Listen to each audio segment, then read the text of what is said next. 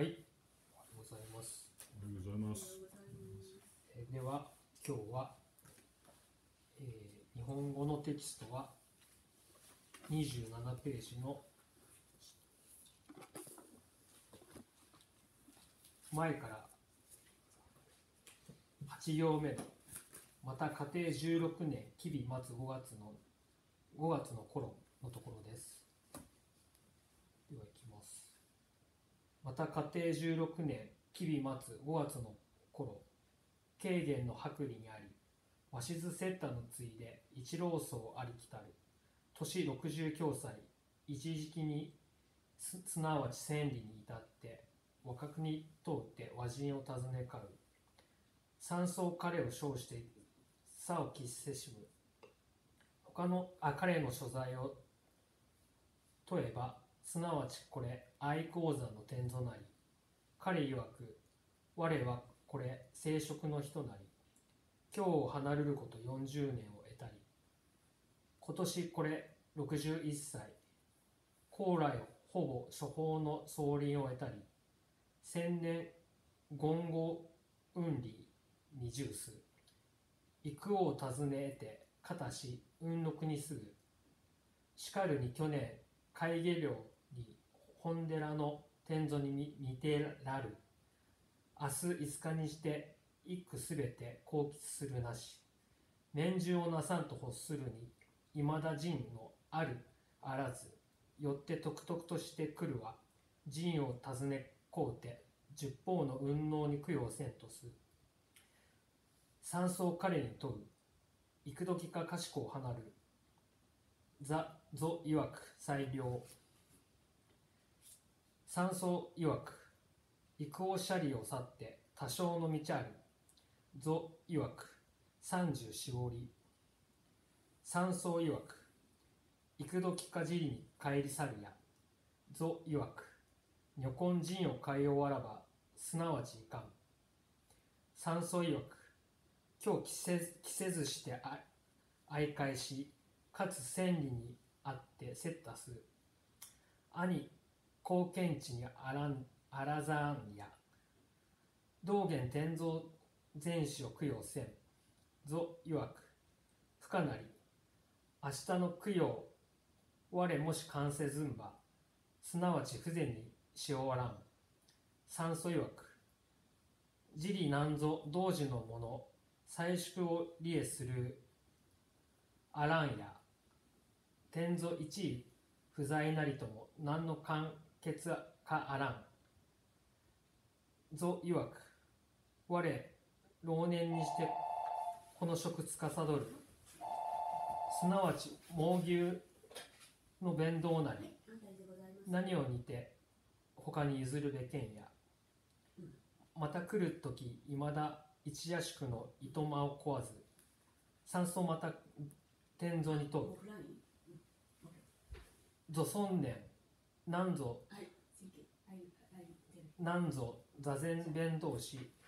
個人の後を関せずして煩わしく天蔵に見て痴漢に寒す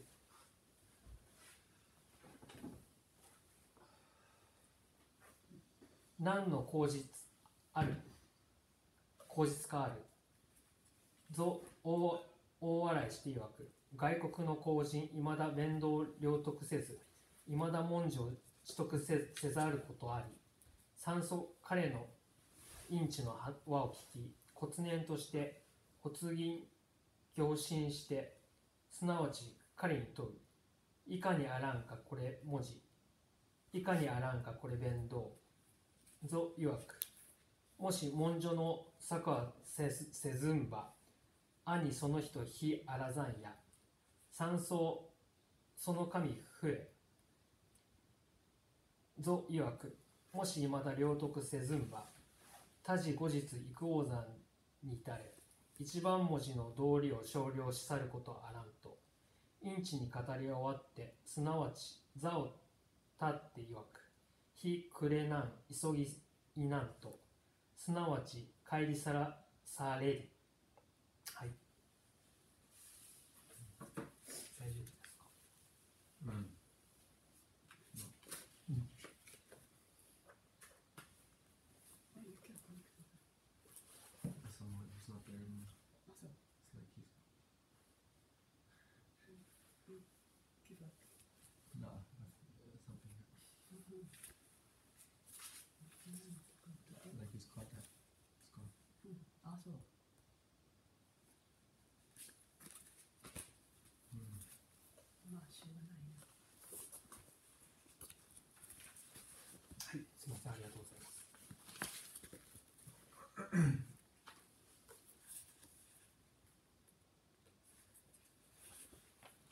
Another time,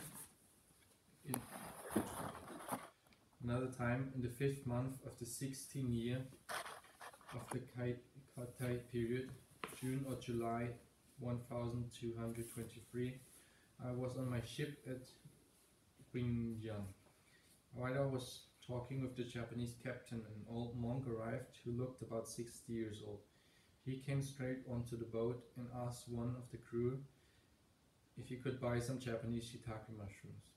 I invited him to drink some tea and asked him where he lived. He was a tenzo at the monastery at Ayuwan mountain. He said, I'm from the west part of Sichuan and left home 40 years ago. This year I'm 61 years old. I've spent time at many monasteries in various areas. In recent years, I stayed with Guyan Dao Guan. Then I went to practice at Aiyuwang Monastery, where I have been kept very busy. Last year, after the end of the summer practice period, I was appointed Tenzo of the temple. Tomorrow is the fifth day celebration, and I do not have any special food to serve. I want to make noodle soup, but I do not have any sh- mushrooms. Therefore, I came here to try to buy shiitake to offer the monks from the ten directions. I asked him, What time did you dep- depart from there? The Tenzo said, After lunch. I said, How far distant from here is Ayuwan? The Tenzo said, 34 or 35 li, about 12 miles. I said, When are you going to return to the temple? The Tenzo said, As soon as I finish buying the mushrooms, I will go. I said,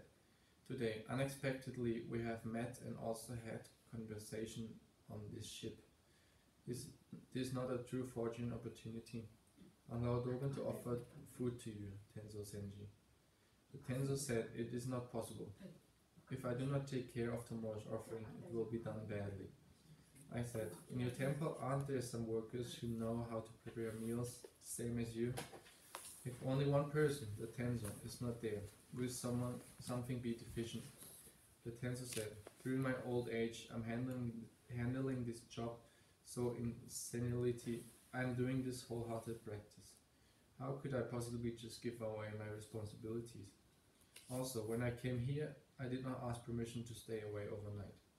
And then asked the Tenzo, Venerable Tenzo, in your advanced years, why do you not wholeheartedly, wholeheartedly engage the way through Sazen or penetrate the words and stories of the ancient masters instead of troubling yourself by being the Tenzo and just working? Was it, what is that good for? The Tenzo laughed loudly and said, O oh, good fellow from a foreign country, you have not yet understood wholeheartedly engaging in the way, and you do not yet know what words and phrases are. Hearing this, I suddenly felt ashamed and stunned, and then asked him, What are words and phrases? What is wholeheartedly engaging way. The tensor said. If you do not stumble over this question, you are really a true person. I could not understand at that time. The tensor said, If you have not yet fully gotten it, sometime later come to Iowa Monument Mountain. We'll have a complete dialect dialogue concerning the principle of words and phrases. Are we connected with Bogdan right now? Yes. Oh, okay. Oh. あすいません奥田さんあつながりました聞こえますかすいませんありがとうございます We will have a complete dialogue concerning the principle of principle of words and phrases. After saying that, the Tenzo got up and said, "It's getting dark, and I'm going now." Then he left to return home. はいありがとうございます部 す。長さんインターネットがいりますか？これ使いますか？いや、これつながってます。ああ、私は、いや、いいですね。いらないですか、はい、い今はいいです。今はい。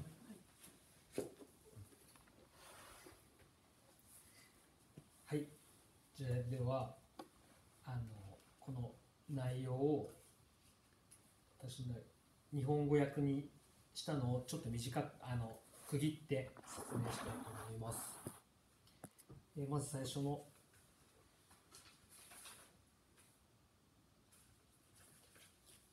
最初の、えーまた家庭16年吉備末5月の頃軽減の白里にあり鷲鷲津接待のついで一老僧ありきたる都市60教祖一時期い。い一時期にすなわち千人に至ってお客に通って和人を買うってところは、えー、と家庭16年っていうのは、えー中国歴の、えー元号でして、えー西暦にすると1223年南宋時代5月の中頃に、えー、と鷲津鷲津というのは日本の船長さんと話している時に、まあ、一人の60歳ぐらいの60歳の、まあ、老僧が一直線に船に向かってやってきて、えー、と和人というのが、えー日本人に通ってあ和客というのが日本日本人という意味で和人を買う。和人というのが、まあ、なんか椎茸っていう意味あの説もあるんですけどなんか桑の実っていう説もあってここで私ちょっと桑の実をにしてみました。桑の実を買っていました、えー中国まあ家庭16年吉備末、えー、と西暦1223年南宋時代5月の頃軽減の船の中に私はいました。日本船の船長と話していると一人の60歳の老僧が一直線に船に向かってやってきて日本人を訪ね桑の実を買っていました、はい、次のところいきます。山荘彼を称しさを喫せしむ彼の所在を問えばすなわちこれ愛好山の天蔵なり。彼曰く我これ生殖の人なり。今日離れること40年を得たり今年これ61歳。高来ほぼ高来ほぼ処方の総輪を得たり千年ゴンゴンウンリーにジュース幾王を訪ね得てかたし運禄にすぐっていうところまで少し訳したいと思います。えー、えーとてあの道元禅師が彼をあのしょあの誘ってあのお茶お茶をご馳走しました。で彼にどこあの天蔵さんあのどこから来たのかと聞いた時に、えー、と愛久王山から来ましたと。あのその老僧は言いました。愛久王山っていうのは今の浙江省にある海沿いの省の、えー中国の東にある町ですね。のそこのお寺から来ました。で私の出身は、えー生殖っていうのが四川今の四川省中国の真ん中ぐらいになります。今日離れること40年。だから四川省を出て一番東中国の東の方の浙江省まで、えー今日離れること40年、えー中国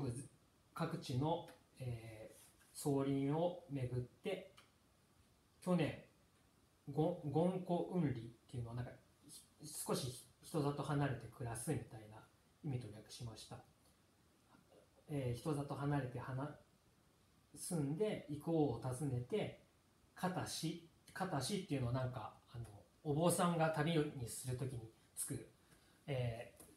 杖杖をかけるところらしいです。杖をかやおけさをかけるところのことを言うらしく片しっていうのはその育王山に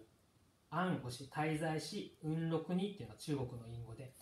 ボケボケとかぼやぼやとかダラダラを過ごしてましたっていうことをこのお坊さんが言ってます。はい。まあ船にやってきたお坊さんを道元禅師がお茶をに誘って、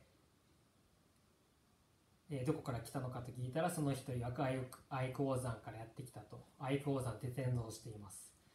彼彼曰く私は四川省の出身で故郷を離る離れること40年。今年61歳。今まであちほぼあちこちあちらこちらの総理を回ってきました。去年人里離れた場所に仮に住み幾王山を訪ね騒動に席を置きました。そこそこでボケボケし,、ま、していました。というところですね。でそして次のところがしかるに去年花月寮に本寺の天蔵に見てられる明日5日にして一句すべて幸吉するなし年中なさんと欲するに今だ陣のあるあらずよってとくとくとしてきたるは陣を尋ねかこうて十方の運能に供養せんとすっていうところまでをちょっと略したいと思います。えーと、えーこの天童さんがまあ愛好山に暗号して、えー去年の夏暗号の後あたりに本寺の天蔵に抜擢されましたと。明日、えー、と5日にして5月5日の節節句の日に、えー一句すべて幸吉するなしなんか美味しいものが何もなかったらしいのであのお寺に、えー、と麺汁をなさんと欲するに未だ陣あるあらず、まあ、麺汁を作ろうと思ったうどん汁みたいなものを作ろうと思ったんですが、えー、桑の実がないから、えー特別に、えーここまで来ましたと。えー桑の実を買って山の雲水さんたちに、えー5月の節句に振る舞おうということで天蔵さんがやってきたらしいですで次のところいきます。山荘彼に問う。幾時か賢離るる。ぞ曰く裁量なり。裁量。山荘曰く幾お車両去って多少の道ある。ぞ曰く三十四折三ぞ曰く幾時かじりに帰り去るや。ぞ曰く女根人を通われればすなわちかん。三祖曰く今日着せずして相返しかつ千里にあってせったす兄後見地にあらざんや天天あの道元天蔵禅師を供養せんということで、えーわたあの道元禅師があの天蔵師匠に聞きました。えっ、と愛好山からいつ頃出たのですか？と聞いたんです、ね。そしたら天蔵さんは最良と答えます。昼過ぎに出ました。午後1時ぐらいだと思います。山荘曰く移行車両を去って多少の道ある。えー、移行山がここまでどのぐらいありましたかと。えー、ゾイ曰く34五里、えー、1里が4キロあの日本でと4キロなので、えー、34五里だと、えー、大体134キロここから浜坂ぐらい。まあ歩歩くと3時間ぐらいというところでしょうか。またあの道元さん聞きます。い幾時かじじいに帰帰りさされるや。え何時に帰りますかと。ぞ曰く女根人を帰りおらわらばすなわちいかんえー、あの桑の実を買ったら、えーすぐに帰ります。えーまた道元さん聞きます。今日着せずして相返しかつ千里にあってセッタス後見地にあらざんや道元天天蔵禅師を供養せんと、まあせまあ、今日せっかくあったんですから私がちょっとこの船の中であなたをにお茶を、まあ、接待したいのでどうですかってあの道元さんさ誘ったんですけど、まあ、天天蔵和尚は、えー、と次のところで「えぞ曰く不可なり明日の供養を我もし完成ずんばすなわち筆筆にしおわらん。三、えー、天蔵賞は、まあ、明日のあの無理まああそのお誘いは、えーうあの無理ですとあのお断りしますと、えーもしあの明日の明日のあのあの節句の日に私がかんあのかんあの関わらなければすなわちあのそのお料理がダメになってしまうのでそのお誘いは受けられませんと。山荘曰くなんでまた道元さんがそれで聞きます。三層曰く自利南度同時のものを最色の利へするものあらんや天蔵一位不不在なりとも何の可決あらん。座曰く我老年にしてこの職つかさどる。すなわち猛牛の弁当弁当なり何をもってか他に譲るべけんや。また来るときいまだ一役宿の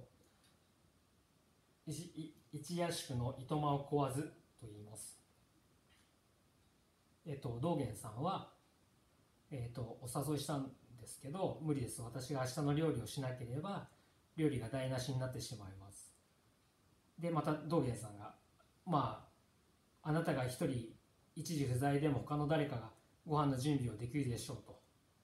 誰か天蔵の仕事を理解している人は、あなたが一日不在でも何のか何の問題もないでしょと道元さんは聞くんですけど、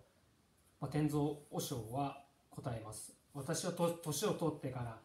天蔵になりました。せっかく最高の仏道仕様なのになんで誰誰かに任せなきゃいけないのですかと。またここに来るとき、えー外宿許可許可も取っていません。とあの天蔵和尚が答えます。で、えー、酸素また天蔵和尚に聞きます。酸素酸素また天蔵に問う。座尊念南蔵座禅弁道し個人の後を関せず煩わしく天蔵に見て士官に寒す。何の口実あるか。ある。天蔵を笑いして曰く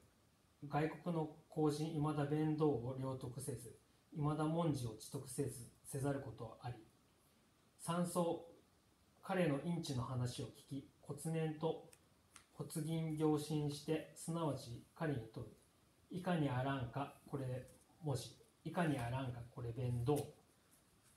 ということで、えーまあ、天蔵省がまああねあなたのお誘いは受けられませんと。でまたあのお寺にちゃんと外出許可も取ってきませんでしたからって真面目にあの答えるんですが、えー道元禅師がまたあの聞きます。なんであなたほどのお年の人が帝将や公は偉い人のお話を抗議しないのですかと。天蔵なんて面倒くさいことをやって必死に寒して何何か良いことでもあるんですか？とあの道元禅師が聞くんですけどそしたらあの天蔵さんに大笑いされてしまって日本の若いのあなたは何も分かっていない。弁道が何なのかそして文字ってものも分かっていない。私は彼の言葉を聞いてあの道元さんはずたちまち恥ずかしくなってしまってあの驚いて恥ずかしくなってしまいましたしかし気を取り直して彼に聞きましたでは何が文字というのでしょうか、えー何が弁あの弁道なのでしょうかと道元さんあの恥ずかしくなってでもはって気気を取り直してあの天蔵書に聞きますしたらザぞ次のところはぞ曰くもし文書の聞くはせんばせずばせせずんば兄その人非ざらんや。酸素その時そのその時あのその神不え不意ぞ曰くもし未だ領得せずんば他事後日幾王山に至れ一番文字の道理を少量し去ることあらんとインチに語り終わってすなわち席を座を立って曰く非暮れんなん急ぎすいなんとすなわち帰り去られレディって言ってあの帰ってしまいました、まあ、最後のところは天蔵さんが言いましたあの道元さんのあのその問いい問いですね。あのいかにあらんかこれ文字いかにあらんかこれ弁道って道元さんが聞いたのに対して、えー天蔵省はが言いました。もしその質問を忘れずに素素通りに無駄にすることなければ決してあなたは悪くないよと。その時あの道元禅師は意味が分からなかったみたいです。天蔵が言い言いました。またまだ理解できなかできないなら今度移行山にいらっしゃい。一番文字の意味と道理を話し合おうと。言い終わって席を立って言いました。日が暮れちゃうから早く帰らんと。そういうとすな直ちに帰っていった。っていうところですか。あの略してみると。で、えーあのまあ道元禅師に対してあの取ってみたらあの大変なことになっちゃったと思うんですよね。あのまず道元さんのがねどうしてここに来たのかって道元さんのプロフィールから話してみると1223年ってことは道元さん1200年生まれということで23歳の時にもうすでにあの比叡山で2年間。であの妙善禅師のところで9年間、えー修行してなんかものすごい大変なお経を3度も読破してあの日本の仏教に物足りなくて中国まで来て中国まで来れるってことは船に乗って来れるってことはものすごいエリートだった人だと思うんですけどその人があのいきなり、ね、中国に来て3ヶ月ビズまだ中国では無名だからあのビザも降りずにあの船船の上で滞在してでその時にあの来た名前も知らない天蔵和尚さんが来て、えーいきなり鼻っ柱を折られてしまうっていうこのエピソード。まあ道,、ね、道元さんからしてみたらものすごいちょっと恥ずかしいっていうかちょっとそうですね恥ずか恥ずかしいというかこう鼻っ柱を折られちょっとなんて言うんだろう。まあね普通のあれだったらあやべえ。ちょっと恥ずかしいから人に言えないやっていうようなこんなエピソードだと思うんですけどでもここで道元さんが何でこれを書いたのかっていうこと道元さんが何を伝えたかったのかっていうことを考えてみるとまずこの道元さんはその日本でエリートででまあ公家の人とかアーティストの人とかと海を渡ってやってきてあの半分ね死んじゃうかもしれない当時の船に乗ってやってきてでそこで出会ったのが名前も知らないここでは天蔵賞と呼んでますけどでもあの天蔵賞もあの少しあのまとめてみるとすごく面白い面白い人というかすごい人だと思うんです。えー、天天蔵和尚は21歳の時に故郷を出て中国大陸を一人で歩き回り中国の総林を回り修行して61歳になった今でも変わらず目の前の小さなことに真剣に精神で手を抜かず嘘はなく謙虚にまっすぐに、えー天蔵の仕事ををあのと向き合ってるっていうすごいまあすごい人だと思うんですけどその天蔵和尚とのあの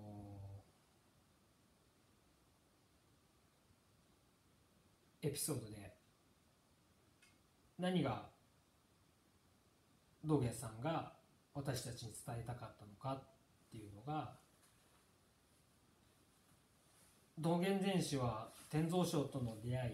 それまでいかに弁道ということを自分自身がいやあの当時の日本の禅宗というかが捉え違えていたことを知るきっかけになったすごいあのこれが大切な天蔵教訓の中でも重要なエピソードなのではないでしょうか。日本の仏教は今までの先輩たちが教えてこなかったこともありあの天蔵とかこういうちょっと目の前のちっちゃなちっちゃなことっていうより目の前の作務や些細なことでも一生懸命やるっていうこの天蔵和尚から見える感じのところを、えー日本の仏教の先今まで先輩たちが教えてこなかったこともありまあ自分も気づいたこともあるんですけど伝えなきゃという使命感があったかもしれません。だから天蔵教訓を書いたのではないでしょうかと私は思います。天蔵という仕事をを通してそれを他の仏道修行や人生のいろいろな場面に当てはめて実践していく実践していくということ物事に対する姿勢が道元禅師が天上天蔵省から学んで伝えたい一番のポイントなんではないかないだろうかと思います。年を取っても変わらず目の前の自分がやるべきことに精一杯向き合う姿勢を何に向き合うのかではなくあ何に向き合うのはその時その時に変わり人それぞれの人生や運命をどう受けて受け止めて向き合っていくかそこで手を抜かず嘘はつかず誠実にごまかごまかさずに何も求めず主観に人生を全うするっていうのがこの天蔵和尚とのエピソードで、えー道元禅師が、えー皆さんとか私たちに私にたちに伝えたかったことなんじゃないですかあろだろうなと思います。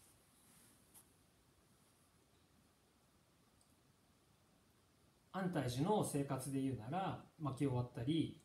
畑に肥料をあげたり廊下を拭く雑巾で拭くこともタオルを洗うことも座禅する時も天蔵和尚のようにただひたすらやるということ特別なことは何もしなくていい目の前のことに集中するただそれだけを全うすると思うと、えーなんだか気が少し軽くなったような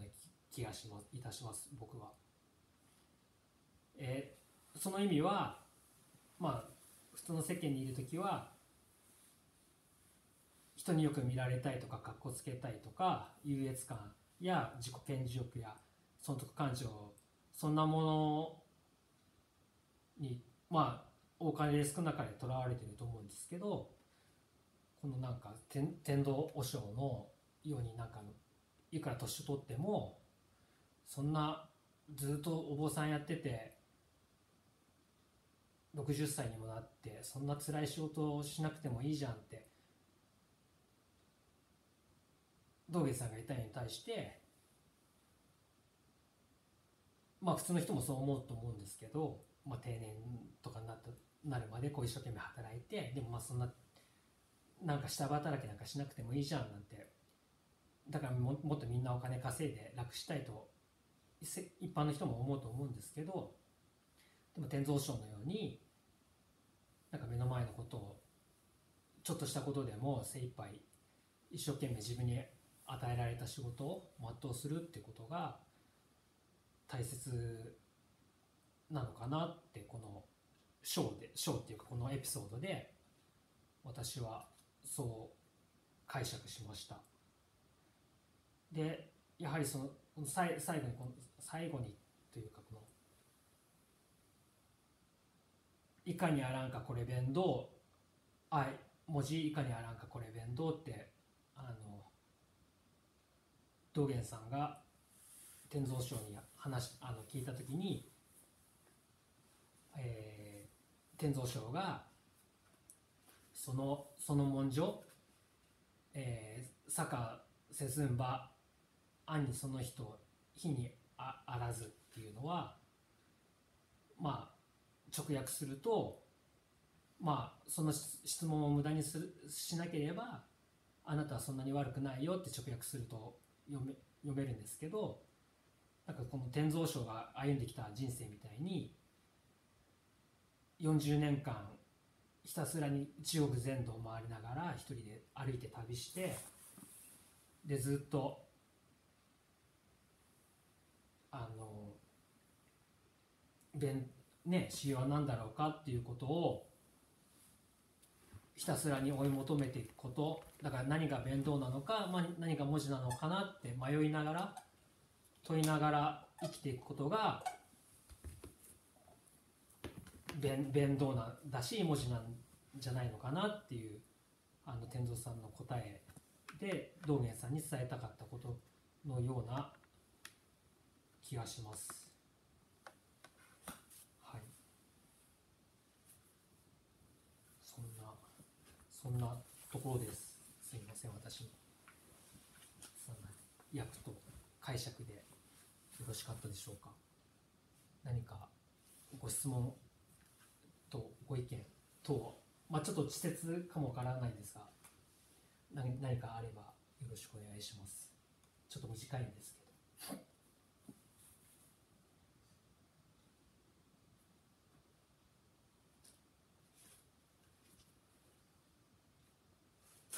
はい。たくさんたくさんというかいろいろ天蔵和尚さんのはい。あのエピソードからはい。いろんなことを感じられたんはい。だなというふうに、えー思いました、えー高橋さんの、はいじゃあ現実の、はい。まあ、まあ、安泰寺に来て3ヶ月ちょっとぐらい、はい。はい。まあすでに転造もされてるし、はい。もちろん座禅も直道もこの前は精神直道もはい。えーまあ日々、えー安泰寺の修行を、うんえー精進しておられるんですけどはい。その中で、はい。その具体的にそのこういうことがこういうこの天蔵師匠さんの言ってることなんじゃないかなとか、はい。うん何かそういう具体的な今の生活と関わる、はいその高橋さんの何かあればあの天蔵お仕事のやり取り。天蔵天蔵師匠さんからはい。のメッセージをね受け取られた、まあ道元禅師からはい。あののメッセージ受け取られたわけですけど、それが今の自分の生活の中でどうはい。関わってというところを教えていただきたいと思います。お願いします。はい。まあ、この天蔵、まあ、教訓を読んでもなんですけど、まあ、まず天天蔵という、まあ、お料理の仕事を通して、まあ、本当に些細なこと、お水のことや野菜を切ったり、野菜を扱ったり、まあ、食材を扱ったりする時も、なんか普通のお料理する時よりも何ていうのかな。ものすごく大切に思って扱ったりだとかあとは食器や、えー調理器具。もうねあのこの間の少女前前に出てきた少女じゃないんですけど本当にあのそれもものにもまあ、命があるわけじゃないですけど、まあ、命があるようになんか心がけておくとかあの乱暴にこう扱わないとかっていうのはものすごく心がけてるところであとはそのお掃除のこともまあお料理することも座禅することもお掃除することもどれも同じような姿勢で一等な姿勢ってことを心がけてなんだろう。どれが一番大切な仕様なのかなじゃなくて日常のその掃除することもタオル洗うことも座禅することも包丁で大根切ることもかかまどであのカレー作る時もこういう天蔵教訓というか違う経典本読む時もなんか同じモチベーションというか同じ。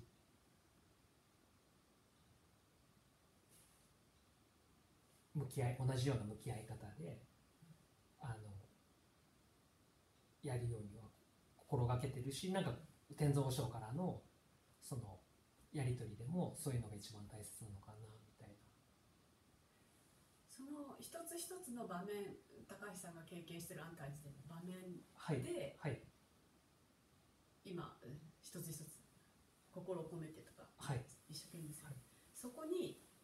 のポイポイント共通してるポイントみたいなものはそうですね。ななんだと思いますか？共通してるポイント。はい。例えば大根切る時も、はい。えー雑巾洗う時も、はい座禅する時もはい同じように一等に向き合まって、向き合って、はい。まあそれになるべく集中して、はい。はい。一点に集中しながらも、うんまあ一点に集中するのとあと周りを感じながらっていうのには気をつけてるっていう、はい。まあ、それが共通するところは自分が思うのは、まあ、その集中この一つのことにことに集中すること、はい。まあ、集中しし続けられないんですけど、うん。うんあの他のこと考えちゃったりもするんですけど。じゃあそのことに、心に向き合うってはいそうですね。今は目の目の前のこと、まあ、そそそれ以外のことを考えないようにしてます。してしてますというかなんかそなんかそそれがいいのかなと思って。今は今はというかずっと。それでちょっと気が楽気が楽になるなるような気がするわけじゃないですけど特別なことしなくてもいいかなっていう普通のことを一生懸命やればいいのかなってあの感じたので。ありがとうございました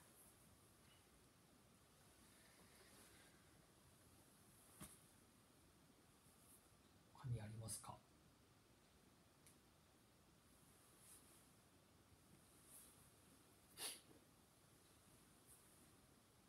僕らさんありますか？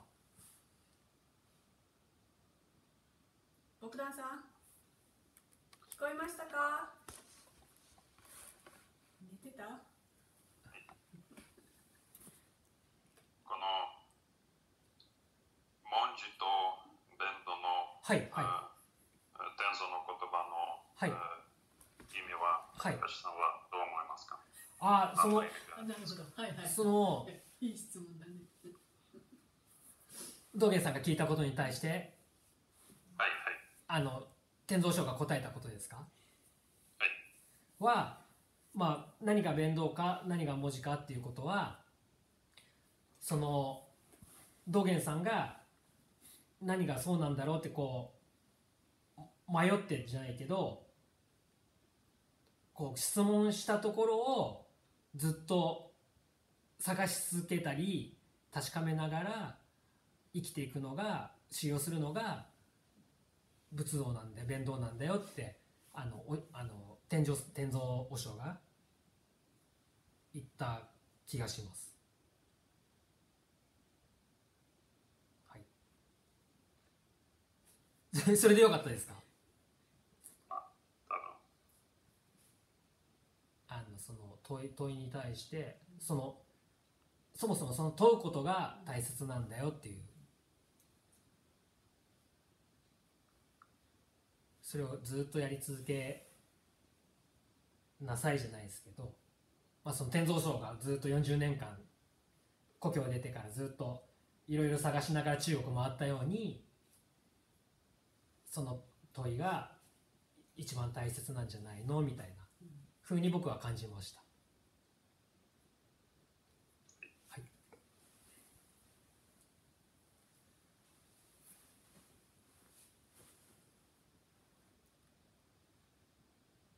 ほい。他にありますか？